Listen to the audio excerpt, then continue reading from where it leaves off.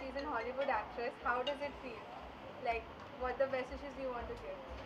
All the best wishes, of course, but once I meet her, then I'll know what I feel like. But for the moment, I'm here for Karim Bhai, and of course, to see what she's bringing in. She's from Hollywood, so she's I getting know, I into know. Bollywood. So Yeah. just the wishes. I think I- it's a great. I do know uh, some people from. It's a great, well packaged project to have people from uh, different parts, India as well as Hollywood. So, all the best for the project and uh, wish them all the luck. Uh, sir, now you entered through Sin City. Just tell something about the place. I think I really like the lights, and uh, Sin City looks like a feel to it, and it does look kind of uh, filmy in a way.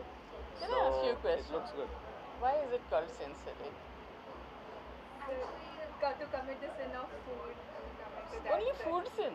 Food, parties, basically party and